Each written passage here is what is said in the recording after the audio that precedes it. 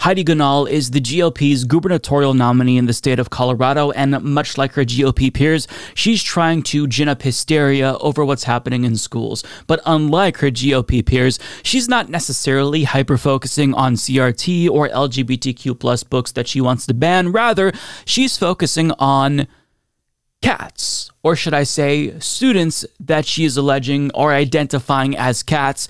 And to make matters worse, schools, 30 of which her campaign has identified, are accommodating these cat identified students, according to her.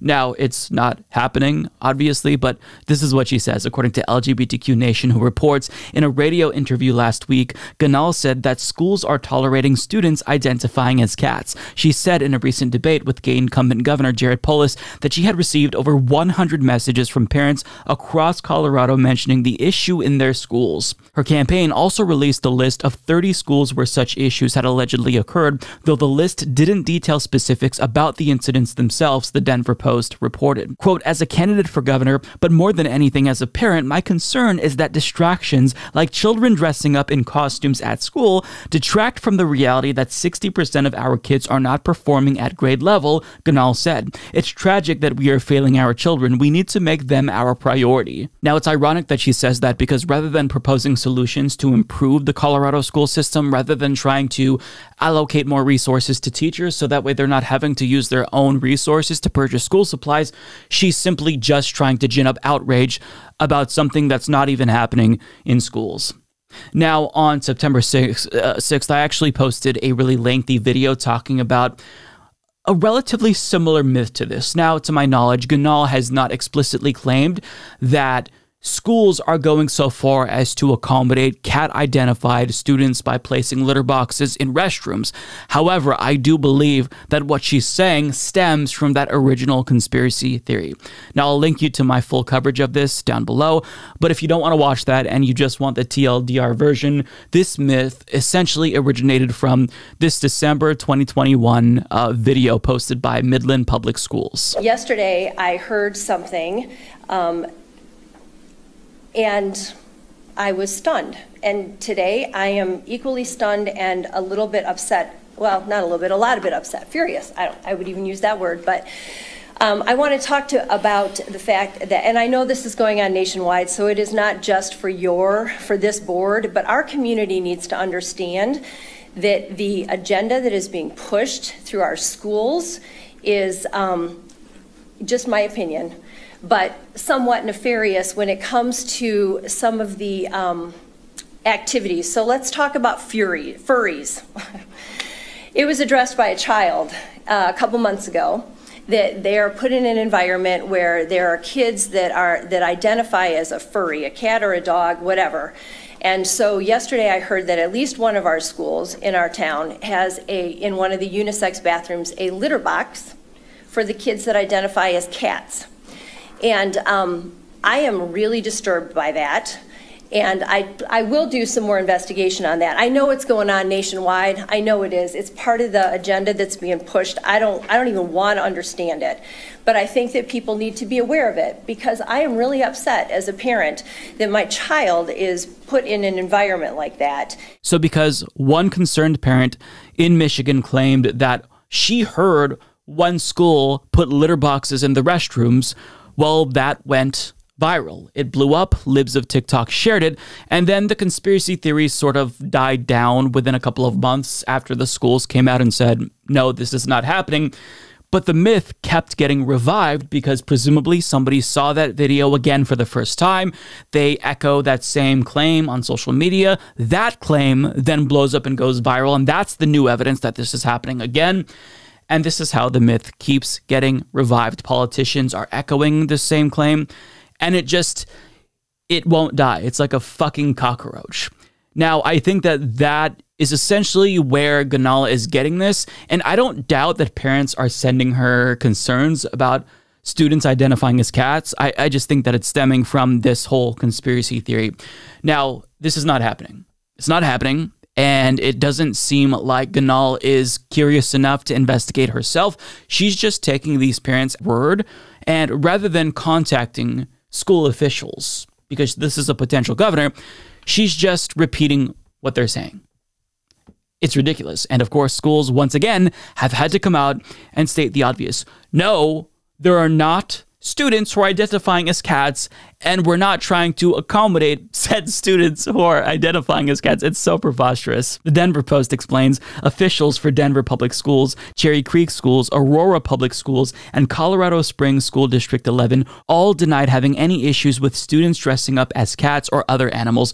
Two statewide organizations representing teachers and administrators criticized Ganahl's claims and said they had never been made aware of such issues either. Randy Barber, spokesman for Boulder Valley School District, which is in included on a list Ganahl's campaign provided of schools where students dress like animals, said he was unaware of any such issues. Quote, the concerns being generated by the Republican gubernatorial candidate are baseless, he said. The claims are exhausting for educators, said Brett Miles, the executive director of Colorado Association of School Executives. His group, along with the Colorado Education Association, described the claims as false. Both groups said no educator, administrator, or district had ever reported issues similar to Ganahl's claims. Now, that same individual who was just quoted went on to make a really good point. He said, Look, we are just trying our best to give students some semblance of normalcy after living through two years of a pandemic, which is still going on, but you know, schools are back open, and we're trying to make things the best that we can do, right? And we have to take time out of our day to investigate these claims and then report back to parents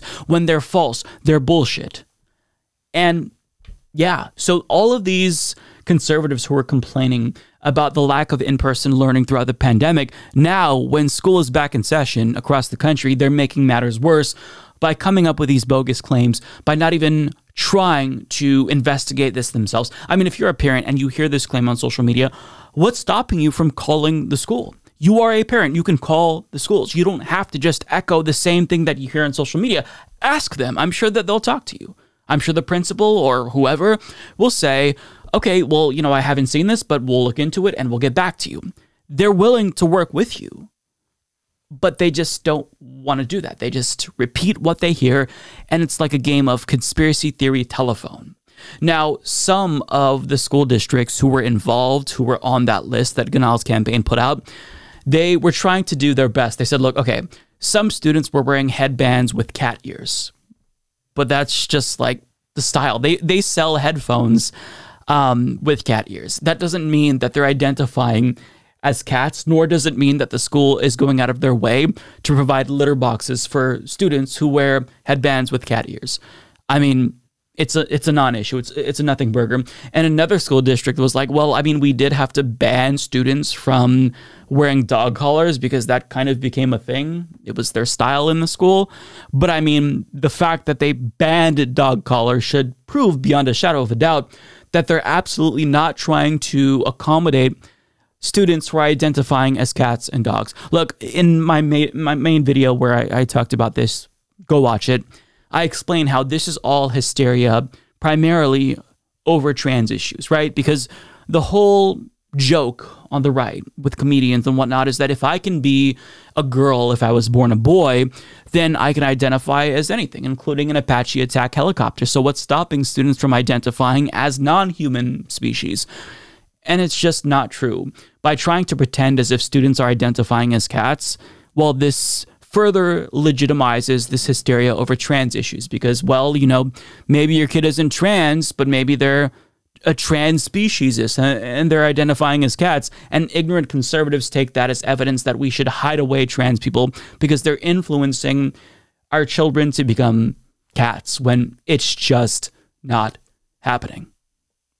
So, once again, this story has popped up. It had to be debunked, and I'm sure within a couple of months, once again, we'll, we'll hear from a Republican who says, I heard that there's litter boxes in restrooms at one school. Like, it's not going to die it's not going to go away. It's going to keep happening, and schools are going to have to continue to respond to this bird brain claim that cats in schools or that students in schools are identifying as cats. On its face, these parents should be smart enough, have at least enough common sense to assume seems a little bit implausible, but if I care enough, I'll look into it. But that's not happening. And so they're contacting Republicans, and these are becoming political stories. It's got to stop, but it won't because unfortunately, this shit works for Republicans. So uh, we'll see if it works for Ganahl here. up yours, up yours, up yours. Sons of bitches, bitches, bitches. Woke moralist, woke moralist, woke moralist. I dreamed I saw my maternal grandmother. She was stroking herself absent-mindedly. I let her have her way. Her genital region was exposed. I let her have her way.